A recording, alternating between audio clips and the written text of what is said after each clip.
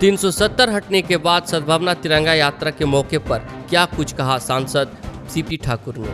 की आज़ादी मिली है उसकी खुशी है। हमारे कश्मीर के जो भाई लोग हैं उनको पूर्ण आज़ादी मिली है उसकी खुशी है। और देश तो आगे बढ़ेगा देश की और तरक्की होगी।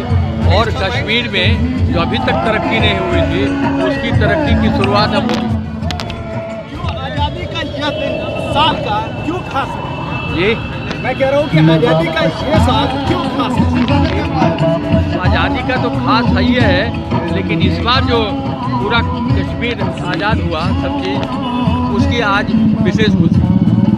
तेजस्वी यादव कह रहे हैं कि आज़ादी का ये जो दिन है ये तेजस्वी यादव का कहना है कि आज़ादी का ये जो दिन है ये खास नहीं है क्योंकि पूर्ण डेमोक्रेसी नहीं है। जनता को के अधिकारों को हाईजैक कर लिया गया है।